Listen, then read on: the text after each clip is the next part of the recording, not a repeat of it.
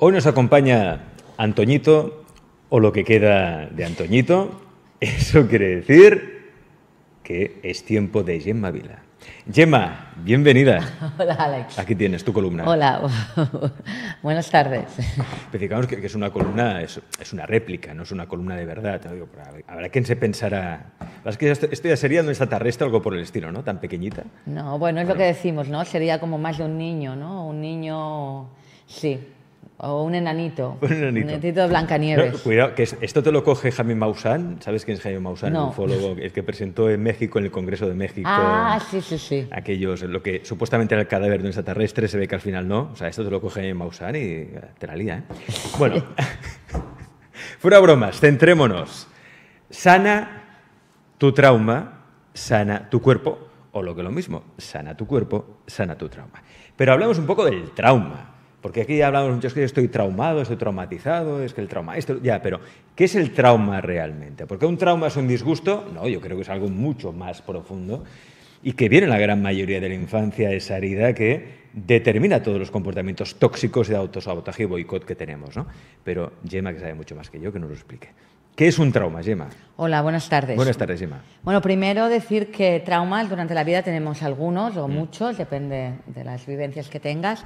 Y de alguna manera un trauma es un acontecimiento repentino, inesperado, que no puedes manejarlo, ¿vale? Y que te perturba tu bienestar de, a la persona, el bienestar que tiene la persona. La persona tiene un tipo de vida y de golpe, de alguna manera, de golpe, eh, hay este acontecimiento repentino que lo perturba y que le afecta a nivel psicológico su vida. Entonces no sabe cómo gestionar ese hecho, a, veces incluso recurrente, creando sufrimiento emocional y eh, le queda el recuerdo, le queda el recuerdo y la emoción que ese recuerdo le crea. ¿no? Entonces, muchas veces esos traumas, la mente, porque intenta sobrevivir, porque tenemos una mente que lo que hace es ayudarnos a sobrevivir y el estado de supervivencia, intenta como esconderlo o olvidarlo o ponerlo en una parte de la mente que no conectes con él, pero por lo que sea hay cosas que te pasan durante que se puede volver a activar, ¿no? O puedes soñar con eso, o volver a ver ese acontecimiento en otra persona o en una película, o que te ponen en una situación que te recuerda lo que te pasó. Entonces, eh, cuando tú, tú, vives ese trauma, es una pérdida de control total de la persona, pones a la persona en alerta, en estrés, con todo lo que eso conlleva a nivel no solamente psicológico, sino em, em, emocional y también físico, ¿no? La adrenalina, estado de estrés, alarma, miedo, culpa, ira, resentimiento, lo que salga, depende de la persona, ¿no? Uh -huh. Entonces, bueno, toda esta tensión, claro, el cuerpo, si lo vive durante mucho rato, el cerebro explotaría. Es como lo que decimos, ¿no? Que tú en casa enchufas... Eh, el, la lavadora, el microondas, mm. en, con todos los aparatos eléctricos, llega un momento que los fusibles explotan. Claro, subida de tensión. Exacto. Entonces el cerebro, para evitar eso, pues lo que hace es lo proyecta en una parte del cuerpo. Entonces eh, lo proyecta, pues por ejemplo, en las vértebras, o en la columna vertebral, o en el brazo, o en la nuca, o tal. Entonces toda esa presión, toda esa tensión, lo proyecta ese, ese, esa energía eh, en la parte del cuerpo y entonces el cerebro de alguna manera es como se relaja. Y es mejor sobrevivir que te haga daño en la pierna o que tengas ciática o que no puedas mover el pie o que tengas, yo qué sé, pulsaciones claro. o etcétera, que te explote el cerebro que, que, mejor eso que te desconectes que, te ¿no? que, que, pierdas totalmente la o sea es un mecanismo de protección es decir como de eso es insoportable el mecanismo de supervivencia pues qué hago traslado ese trauma a una parte de mi cuerpo. Lo proyectas, sí. Y ese es uno de los fundamentos precisamente de la terapia estructural, esa terapia que ya conocéis muchos y que Gemma Vila no solo eh, practica, sino que enseña por todo el mundo, ya que viaja continuamente por todo el mundo para enseñar la terapia estructural, que se fundamenta precisamente en eso. No solo es un método para alinear la columna vertebral, incluso sin tocar la espalda, eso ya lo hemos demostrado, lo hemos visto, sino que se pueden sanar muchos traumas que también afectan a otras áreas de nuestra vida, como puede ser el área no solo de la salud, sino la de la economía, de las relaciones. ¿Por qué? Porque el ser humano es, holístico, el ser humano es un conjunto de factores, un conjunto de áreas, ¿no? Y por eso la terapia estructural funciona también.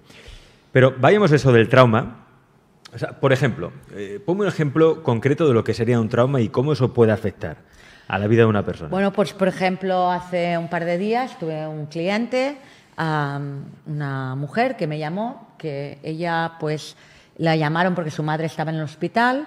Cuando llegó, automáticamente la, la madre se había muerto. O sea, ella no pudo despedirse de su madre. Entonces, eso le ha, le ha causado un trauma muy fuerte, porque fue justo el día que comenzó la pandemia, ¿no? el día 13 de marzo. Entonces todo el mundo iba con mascarillas, todo el mundo ya estaba asustado por el cambio, el cambio que hubo a a nivel mundial y no pudo ir a ver a su madre, no pudo despedirse, la madre estaba de golpe, ella, la madre llevaba dos o tres días enferma, pero no parecía que pasara nada y pum, se entera de que se muere. Cuando ella estaba muy unida a la madre, cuando ella tenía muy buena relación con la madre, y han pasado los años, porque han pasado tres años, y ella todavía, si le hablas de la madre o le hablas de ese momento, se te pone a llorar y se tiene una bola en, en- la garganta, en el corazón, y le cuesta mucho poder hablar de eso. Él lo tiene todo acumulado, la emoción acumulada, y cada vez que abres esa caja de Pandora, abres eso, pues se le mueven muchas emociones y muchos pensamientos.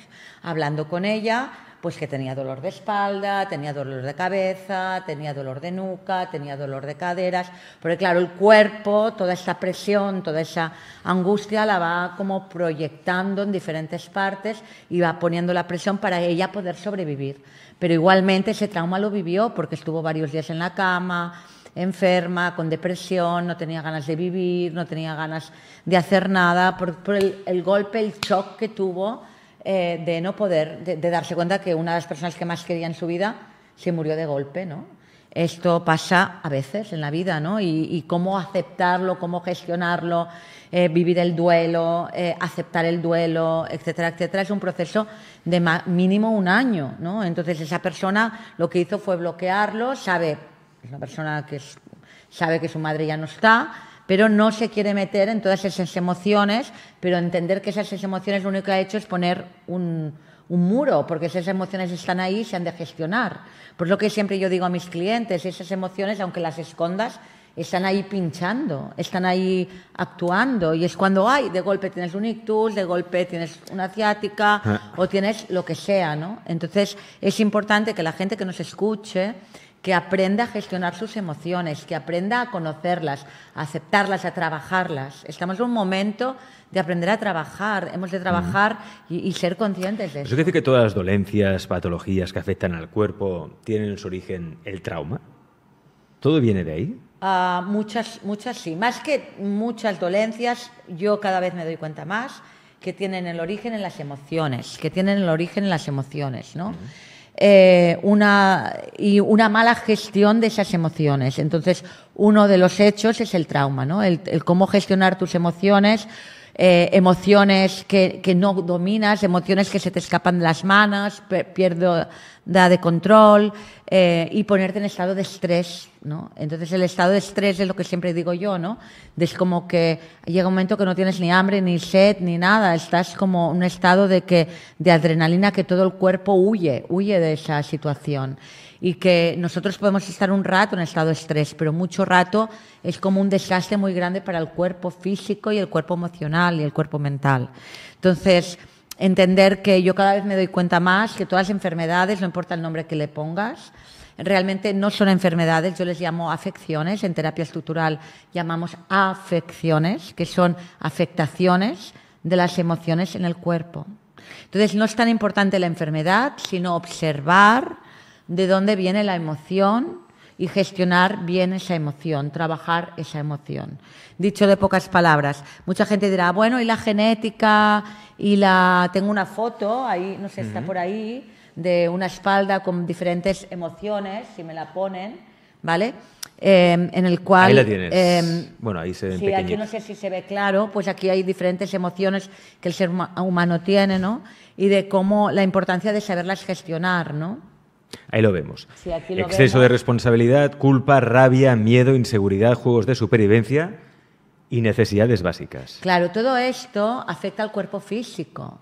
Y es lo que decimos, muchas veces dirás, bueno, eh, y las enfermedades genéticas, las enfermedades eh, hereditarias, todo esto. Yo cada vez me doy cuenta más que incluso este tipo de enfermedades vienen de emociones, porque muchas veces tu padre tiene artrosis, pero es que si tú ves la vida como tu padre, tienes una perspectiva igual que tu papá, a la larga tendrás parecidas enfermedades, porque es la manera que tú tienes de vivir la vida, la manera que tienes de gestionar tus emociones, de, ¿sabes?, afectan a, qué tipo de enfermedad y afectan a tu cuerpo, ¿no? Cómo gestionas tus emociones.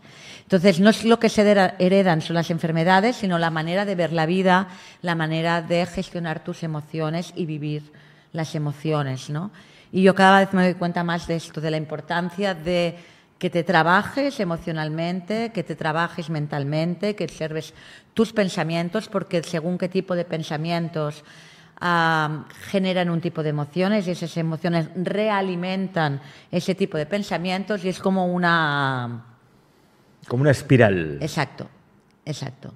Y bueno, es lo que decimos, yo tengo un trauma, de golpe pues tengo un trauma, yo y lo proyecto en la espalda y se me mueven las vértebras, ya estamos. Recordar que en la espalda tenemos todo el sistema nervioso, en la espalda tenemos eh, toda la información ancestral eh, de, la humanidad, del ser vivo, y ah, el sistema nervioso conecta al cerebro con, todo, con toda la sensibilidad motora, sensitiva, sistema parasimpático, sistema simpático, eh, los movimientos del corazón, el, hígado, el sueño, el descanso, la vigilia, las palpitaciones, los pulmones, todo. Entonces, un movimiento vertebral, una mala eh, si no tenemos bien recolocadas las vértebras, eso afectará al sistema nervioso, afectará al nervio, hinchará ese nervio, que es lo que veremos ahora próximamente en las fotos que he traído hoy de algunos clientes. Y esos nervios hinchados hacen que ese sistema, por ejemplo, el hígado o el corazón, no funcione correctamente, ¿no? Es lo que yo siempre digo. Vamos a ver si un caso de esos pacientes, porque así lo entendemos sobre, sobre la propia experiencia. ¿Qué vemos ahí? A ver, eh, bueno, es que aquí hay una persona, ponme la otra también, ponme las tres, mm, ponme las tres seguidas. ¿Ves? Aquí vemos la diferencia, lo que sea que aquí no se ve mucho. Esto es un chico joven de unos 30 años de edad y quiero poner también el ejemplo que no siempre es la gente mayor que está mal, ¿no? Que es un chico joven eh, que, que, vino a mi consulta y podemos ver en la primera foto que tiene los hombros asimétricos, si me lo vuelves a poner, ¿vale? Tiene los hombros asimétricos, uno más alto que otro, una cadera más alta que otra, ahí se ve, una cadera más alta que otra, la izquierda más alta que la de esto, tiene una escoliosis, que escoliosis es cuando las vértebras parecen una serpiente, ¿vale? Y se quejaba de que tenía cansancio agudo, insomnio, desánimo, depresión y le costaba mucho dormir, ¿no? Entonces, por muchas pastillas que se tomaba para dormir, melatonina, etcétera, etcétera, no, no conseguía descansar a a través del sueño, ¿no? Estaba como muy cansado. Entonces es lo que decimos, ¿no? Que si esta persona, las lumbares, en este caso de él, tiene esta escoliosis, que escoliosis es que la columna hace como una S, ¿no? Y pinza al sistema nervioso, sobre todo las dorsales, son las responsables de que tengas buen sueño, descanses bien. Entonces nos encontramos que a la medida que esa persona, no sé si vuelve a salir la foto, eh, le vamos recolocando, encontraremos al final la que los puntos azules, la que está marcada de color azul, que acaba teniendo los hombros rectos, ¿lo ves? y las bolitas que he hecho azules allí son que la escoliosis que estaba así girada, que estaba así, se han ido recolocando. En esas zonas tenía como, y también tenía un poco de lordosis, que es que las vértebras van hacia adentro, sobre todo las lumbares que afectaba también la cadera, que tenía una cadera más alta que otra, un hombro más alto que el otro, y todo esto, claro, afecta pues a todo, a todo, a los brazos, a, lo que decimos al sueño, incluso al, sistema, al sistema circulatorio de las piernas, por ejemplo. Que por mucho que tú hagas cosas y te tomes em, cosas para retención de líquidos y cosas de este tipo, si tú después tienes ese nervio hinchado y ese nervio inflamado, que no está funcionando bien, ese órgano no va a funcionar bien. Tenemos otro ejemplo, si me lo pone nuestro compañero. Sí, vamos a ver. Que es una señora, en este caso de 57 años. Exagerado, ¿eh? Muy exagerado. Esta señora Ah, tiene 50, y- perdón, 58 a- años, aquí hemos hecho cuatro sesiones, es un mes, más de un mes de trabajo, unos 40, 50 días. Aquí vemos muy clara a la foto, veamos la escoliosis, muy marcada aquí, molestias mucho en la cintura, tiene lordosis, tiene muy poco movimiento, vino a la consulta porque casi no mueve su cuerpo, le cuesta caminar y tiene dificultades de mover su cuerpo y, y también con dolor. Y como podemos ver, con el tiempo hay una mejoría en la cadera, en la postura, Entonces la importancia que estoy intentando decir de tener las vértebras desaliñadas, fuera de lugar, y cómo afectan al sistema nervioso, y no solamente el sistema nervioso, el sistema nervioso también te ayuda a relacionarte. Si tú tienes dolor y tienes dificultad de movimiento, hay muchos sitios que ya no vas, te relacionas diferente con la gente, a nivel social estás incómodo, no te conectas con la gente de la manera que querrías, ya no sales tanto, y esto afecta también a nivel psicológico, ¿no? De, soledad y de... Entonces es, importante entender de que todo esto se puede evitar o se puede solucionar, porque de alguna manera eh, con terapia estructural entendemos que eh, todo se puede recolocar en su lugar eh, y ir sacando todas esas emociones, traumas, bloqueos, eh, conflictos, incluso a veces son karmáticos, porque a veces no son ni tuyos. O sea, muchas veces la gente me dice, bueno, ¿y los niños? Bueno, es que los niños vienen de los padres. Y tú no sabes la mamá cómo ha estado de embarazada o la abuela, eh, o, o yo qué sé, discusiones, o, o por ejemplo, el otro día hablaba con una madre que me reconocía que ella no quería tener a su hija no la quería tener, nació en un mal momento, su hija eh, eh, ahora la ama, cuando nació la amaba, pero esa, esa, hija nunca se ha sentido querida. ¿Pero por qué no se ha sentido querida? Porque esa niña, cuando estaba en la barriga de mamá, eh, sentía que la mamá la rechazaba, mamá no quería tener esa hija. Después, con los años, esa mamá ha aceptado a la hija y la quiere un montón. Pero claro, ese bebé sintió la emoción de la madre. Y si tú no te lo trabajas, ese conflicto queda en tus células, en tu ADN, en tu información genética, ¿no? Y eh, esto se tiene que, trabajar o limpiar o, o, borrar para que esa persona pueda fluir otra vez bien y recolocar las vértebras. Como siempre decimos, es importante trabajar en todos los planos. Yo siempre digo lo mismo, para mí es la base. Es entender que tienes que trabajar a nivel energético, a nivel celestial, a nivel mental, a nivel emocional y a nivel físico. Y que cuando la persona ya tiene un conflicto físico, es que en todos los planos ya ha habido una, un, bloqueo, ¿no? Y que se ha plasmado ya a nivel físico, ¿no? Que pasa lo mismo con el aura. Cuando yo trabajo con el aura, lo mismo. Cuando hay una rotura en el aura, es que se ha de solucionar, porque si no, de alguna manera, afecta al cuerpo físico. Primero, antes de tener un dolor físico, que hay una rotura en el aura, ¿no? Entonces, en terapia estructural, aparte de trabajar las vértebras y recolocar las vértebras, también hacemos una limpieza del aura. Miramos si los chakras están limpios, si están recolocados y si hay roturas en el aura para solucionarlos. En terapia estructural también trabajamos en entidades, trabajamos karmas, trabajamos almas y presencias, trabajamos en todos los planos, porque todo afecta a la persona y en el último plano, que es el físico, es el que queda reflejado. Por eso la importancia de la columna vertebral es un órgano sagrado, es un órgano en el que hay mucha información. Fíjate por aquí hay preguntas ya en el chat. Eh, Nuria Bermúdez Verdaguer dice, hola, eh, tensión en la base del cráneo nuca, ¿qué podría significar? ¿Qué sería? Gracias, Emma. Bueno, eh, esto sería Mm, yo no lo puedo decir así de entrada, más que lo que podría significar a qué nivel, a nivel emocional. A nivel emocional, supongo. O cómo afecta, o cómo afecta a, al cuerpo físico. Esto mm. es lo que, a nivel físico, debe, puede, puede ser que tenga tinitis, puede ser que tenga mareos, puede ser que tenga jaquecas, porque toda esa zona es la que ocupa toda esta zona también, problemas de escucha, auditivos, problemas de visión, mareos. ¿Eh? todo esto a nivel tal. Y a nivel, a nivel de vértebras tendría que mirar qué vértebra es, me lo tendría que decir específicamente, porque entonces esto lo, también lo trabajamos. Uh -huh. Ver qué vértebra es o qué vértebras son, si está en el lado derecho, en el lado izquierdo, se tiene que mirar más en detalle. Aquí miramos más en detalle. Mira, aquí por ejemplo Luis Guananga ¿Sí? ya entra un poquito más en detalle. Luis que nació el 12 de febrero de 1965. Sí. 12 del 2 del 65 dice, yo, Gemma, tengo artrosis y escoliosis en la columna. Vale. Entonces, primero de todo, esta persona le diría que se puede solucionar. Nosotros tenemos en terapia estructural gente que ha tenido artrosis En la columna. en la columna y se puede solucionar. Primero se puede solucionar, pero diferentes, o sea, con diferentes trabajos. Es lo que te digo, trabajar en diferentes niveles. Primer nivel, a nivel físico, hacerte terapia estructural. Y, en paralelo, tomar colágeno, magnesio y vitamina C. Como mínimo por la mañana y por la tarde en este caso. Si él me escribe, le diré las cantidades que tiene que tomar, mínimas al día.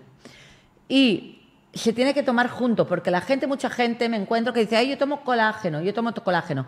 Pero el colágeno no sirve de nada si no lo tomas con vitamina C y con magnesio. Cierto.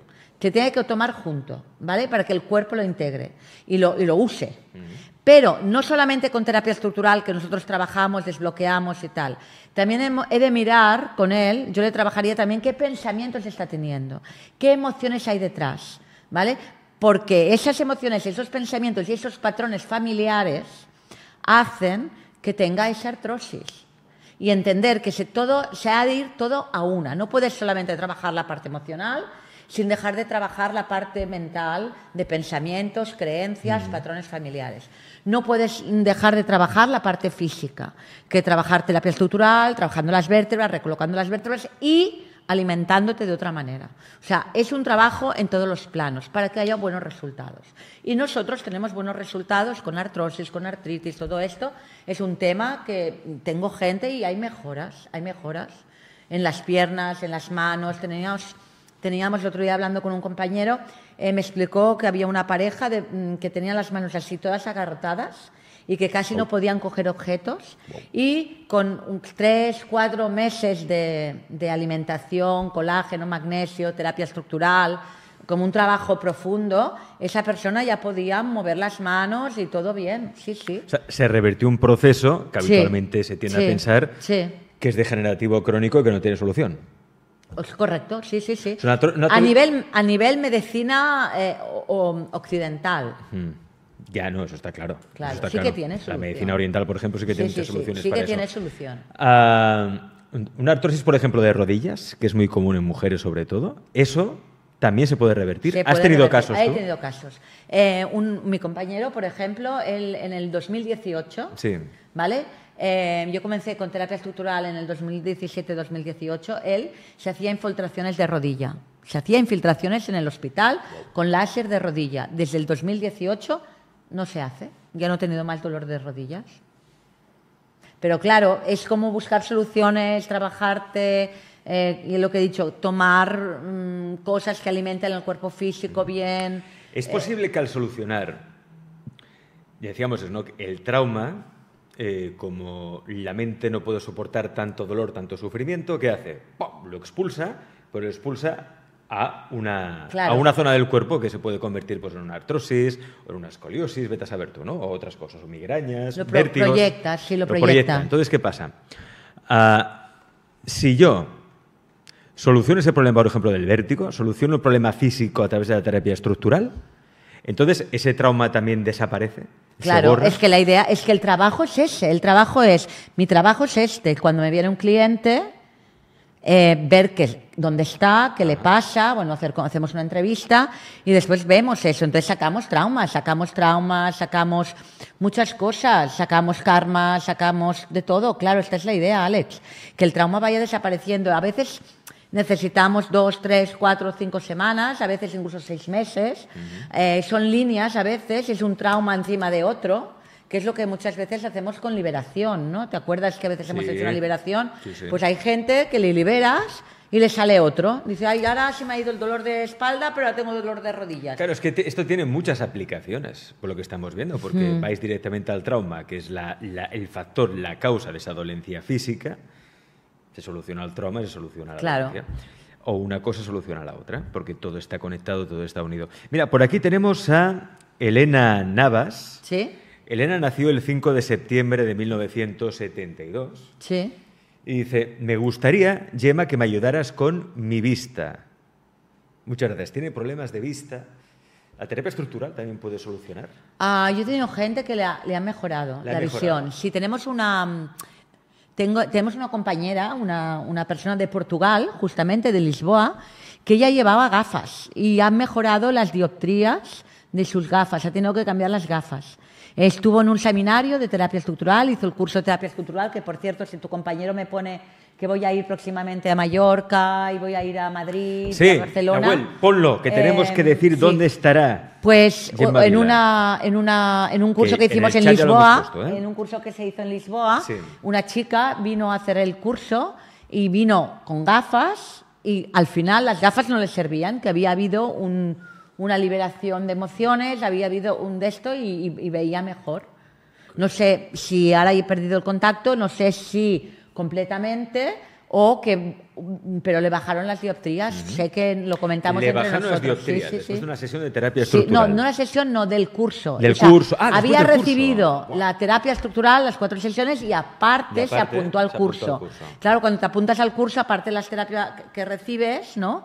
Aparte, claro, tú continúas practicando terapia estructural y esto que es como multiplicas el efecto. Claro, no es lo mismo que te hagan cuatro veces o cinco, que después tú lo hagas a mucha gente, ¿no? Que, hace que se multiplique más. Entonces sé que esta chica de Lisboa eh, ha mejorado mucho su visión con terapia estructural, sí, sí. Eh, tenemos casos así, después tengo otra persona que también, ¿no? Eh, parecido, un caso parecido también. Tenéis ahí toda la información, igualmente ya veis que está pasando allí en, en pantalla las próximas fechas para aprender terapia estructural con Gemma Vila. Como siempre os explicamos, la terapia estructural se aplica a distancia. O pero- presencial. o presencial, pero lo que es el aprendizaje, la transmisión sí que tiene que ser presencial. Es decir, Gemma por eso se mueve por todo el mundo y en breve estará en tu ciudad. Mira, ah, tenemos 12 y 13 de octubre en Mallorca, en Selva. Mataró, en Barcelona, el 20 y 22 de octubre. Y en Madrid, el 11 y el 12 de noviembre. Cualquier información que necesitéis, la página web gemavilapagés.com. También si queréis, que simplemente lo que queréis quizá no es aprender terapia estructural, sino que Gemma Vila os haga una sesión de terapia estructural, un programa de sesiones para mejorar cualquier tipo de patología, problema o trauma que podáis tener. Ahí tenéis su contacto directo, el 622 08 29 30. 622 08 29 30, con el prefijo 34 delante, se le llamáis o escribís desde fuera de España. También la podéis contactar en su Instagram, que es Gemma Vila Pagés. Por aquí tengo más, más preguntas. A ver, lo que pasa es que tenemos poco tiempo. A ver si podemos ayudar a alguien más. Podemos hacer una sesión a alguien, una si quiere, para que Venga, la va, gente nos una sesión. vea. Pues yo, mira, yo haría la sesión precisamente con Elena, que tiene. No, espera. Ah, sí, Elena, que tiene un problema, eh, la que tiene un problema de vista.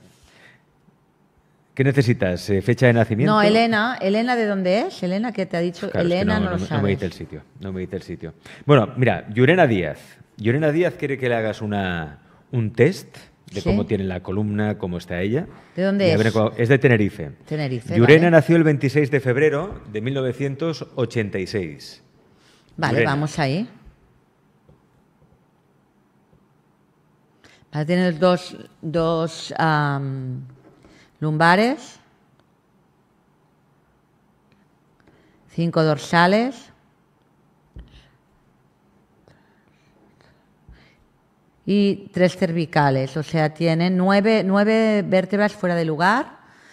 Si me está escuchando, eh, que se estire o que respire profundamente.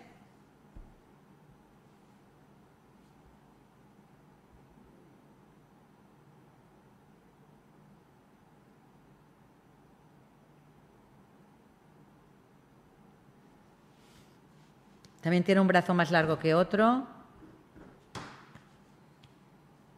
Y una pierna más larga que otra.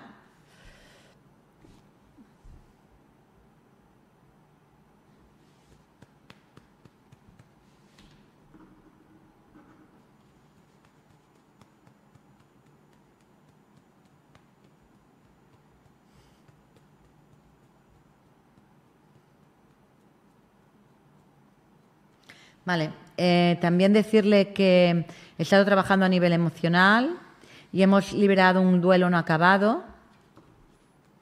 tenía el aura rota, que hemos hecho una limpieza del aura, que tenía roturas en el aura, sobre todo en la parte posterior, y la hemos recolocado. Eh, y después también hemos activado amor, salud y prosperidad y liberado de un karma que tenía de una vida pasada. Ah, no hay tiempo para más. Gracias, Gemma, por estar aquí.